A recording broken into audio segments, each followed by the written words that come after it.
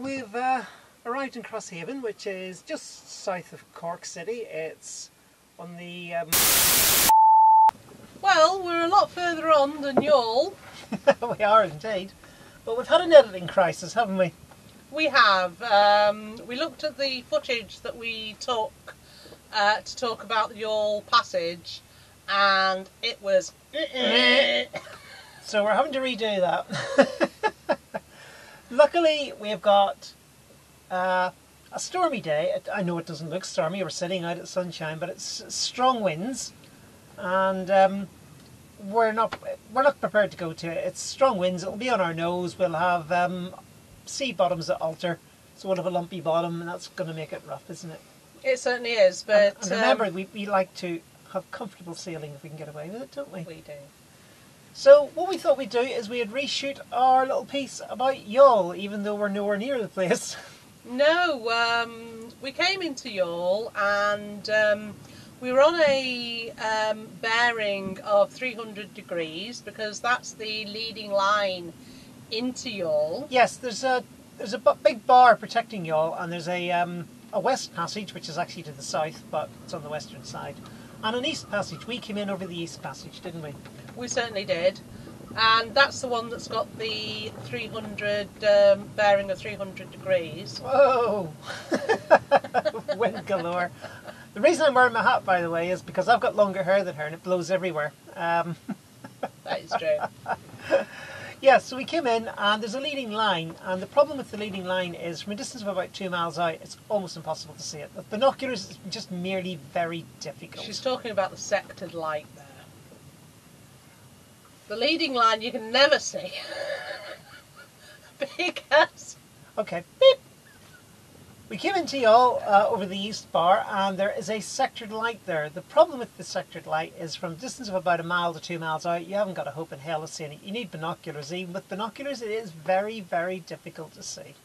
I mean, say, um, we met a uh, subscriber there who is a local to Youghal. And he said, Sector Light? Where? I've lived here for years, never seen it. He's not actually seen the white sector. The red sector's not too bad. The red sector's actually better. It's actually much much much stronger. Um, when you but of course, unfortunately, you're on the rocks by then. the white sector, once you're within about um, uh, three quarters of a mile, half a nautical mile, it's very obvious and you can't miss it. But by then, I think you're already over the bar, so it's too late. Yeah. Um, which is why um, leading lines and knowing what bearing you should be on is um, the way to go. It's definitely a help.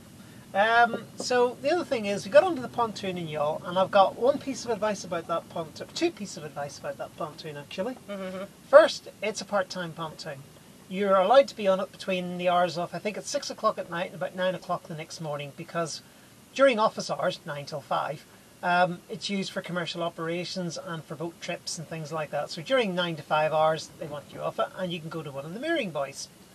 Um, it is free though, so um, you know that is at least useful to know that you can come in and the shops are open until ten o'clock. And there's great shopping. There's a there's an Aldi, there's a Tesco's. I think there's a Lidl somewhere. Uh, I'm not too sure, but there was definitely yeah. a good couple of shops. There is. Um, so you've got all that.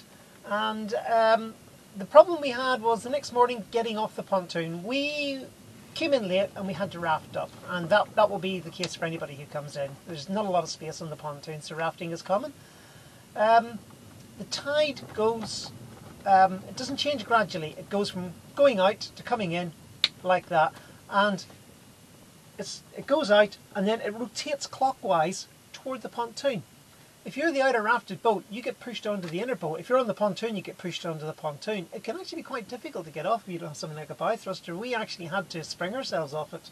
We certainly did. So um, if the, it, it's not very long, the slack, um, but either go uh, just before the tide flips because yeah. it weakens, it weakens, it weakens and then it's like wow bam that's that's quite yeah we strong. made we, we made the mistake of oh look the slack's coming up well we'll just finish this cup of tea then we'll go up and get the boat prepped and off we go and by the time we'd done that we were being pushed against the pontoon so um, it's, it's literally that quick Uh, once we were off, we went and took one of the free mooring buoys. There's um, eight of them. They have pickups, but the pickups have got a nasty habit of getting wrapped around the chains.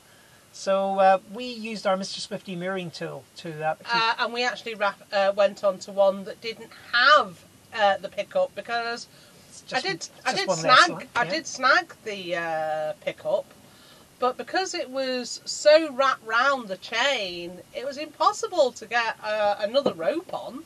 It was very difficult, so we just went and found a clean one where the, the pickup buoy had come off and we, we took it. Another little piece of advice we were told the further in you go, the further north you go, um, the less tide the mooring the moorings suffer. But the problem we had was the very, very northerly, most northerly one. It's quite shallow under it, so we went for the third one down in the end, didn't we? Well, that was the one that didn't have the pickup. Yeah. Um, But it also had considerably more depth under it. it did. It had plenty for us. So we had a sort of compromise. We got a bit more tide, but we got a, uh, we got a lot more depth. That, that, that was our compromise. Mm. But other than that, Youghal, it's a great stopping point, isn't it? It certainly is. Uh, it was really nice meeting our subscriber, and as I've said on our channel many a time, if you are a subscriber, do get in touch. We love meeting you and having a chat. And uh, in this case, I think it was uh, tea and uh, cakes. Tea and cakes, yeah, absolutely. All right, so the passage out of Youghal. Um, It was a motor sail. it was uh, initially it was just a straight motor. There was no point in sailing because there was absolutely zero wind. Um, the kids at the local school gave us a cheer, as we went past. We gave them a couple of toots, didn't we? hmm Uh, we went over the West Bar, as it's called, and headed for Ballycotton Head. And we were lucky enough that when we were out at sea, we actually did pick up a little bit of wind, and we were able to do some motor sailing. But the scenery at that section is absolutely stunning. It's beautiful. Oh, we will need the sun cream today.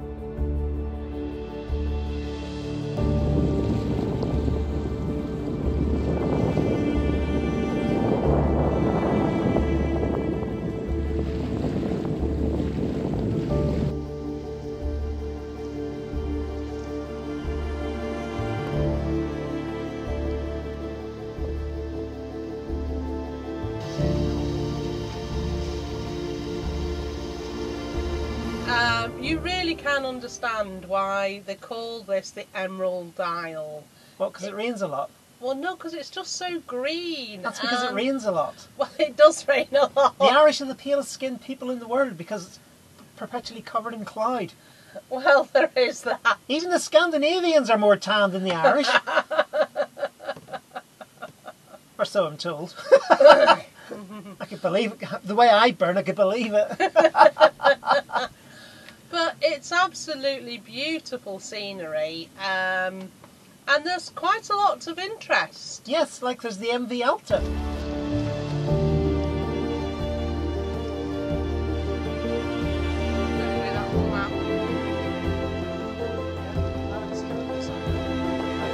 Yeah, which is a ghost ship. and Was. Was a ghost. Well, it's disintegrating um, quite a bit. It was abandoned somewhere near Bermuda in the Atlantic, wasn't it? in 2018, and um, they got the crew off, Yep. It bobbed across. and um, it ended up just outside um, Ballycotton. Mm.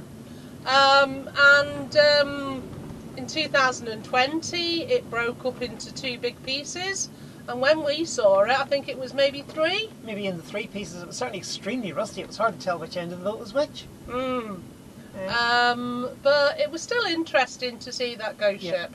if you are coming the, along the coast from Youghal toward um, Cork, uh, one little piece of advice that you might find useful if you've done, if it's the first time you're doing it, is you won't see Cork coming, and you won't see the opening either. It's just one big, long, continuous coastline, and there's clearly no way in. Um, you have you can see the lighthouse on Roches Point, so you know where the opening has to be. Mm. But until you're actually right up next to it, it's very, very difficult to see it. Hmm. Um, so once you've done that, you come in through the opening, you, you take, take a left turn, and you're into Crosshaven.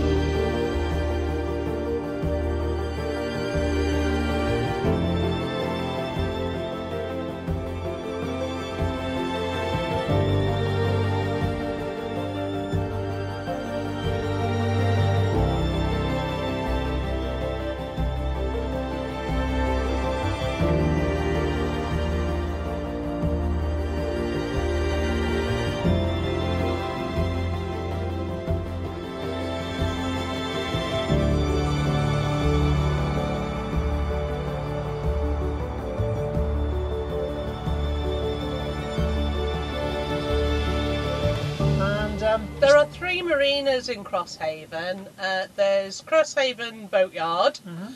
and then it's Sla- Slav, no, Salve, Salve, hmm and then it's Royal Cork uh, Yacht Club. which is the one with all the history and all the facilities. Yes, so we want. I wa- well, I wanted to come to um, Royal Cork because uh, it's the oldest uh, club in the world, Oldest yacht club. Oldest yacht club hmm in the world, and I love things that have got history and things like that. So More importantly, the other two didn't say they had shower blocks. yeah, and So- this one does, This one does, definitely. and washing facilities, And washing facilities, yeah. and all the things that um, a, a person who's been out at sea for quite a while at anchor needs. But The uh, shop is a centre though. The shop is the centre, so um, it's you will pay sort of like localish prices. They're not too bad. Um, the, the choice is a little bit restricted, but it was a good shop otherwise. Yeah, but um, yeah. So uh, hopefully that will um, do our trip for y'all. Um, and um, yeah, And that's where Gainer runs out. yeah. Like a, like a plane landing and running out of fuel on the runway.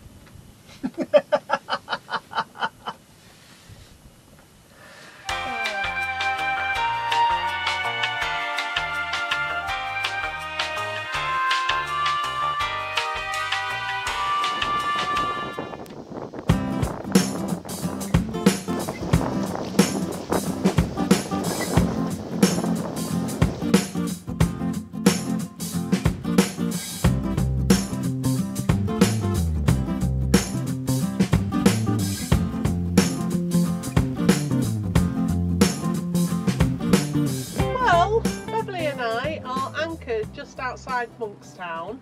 It's a very interesting anchorage because looking out, you've got a lot of industry and things like that, but you've also got beautiful houses nestled in woodland. So you've got lots of different things to look at. I was a bit cautious because you're quite a distance out, but we're right next door to the mooring field. So we're just on the outside of the mooring field that uh, belongs to Monkstown Marina. But we're in an ideal position to just mosey up the river to go and pick up our friend and um, have a sailing holiday. So that's what's coming up next.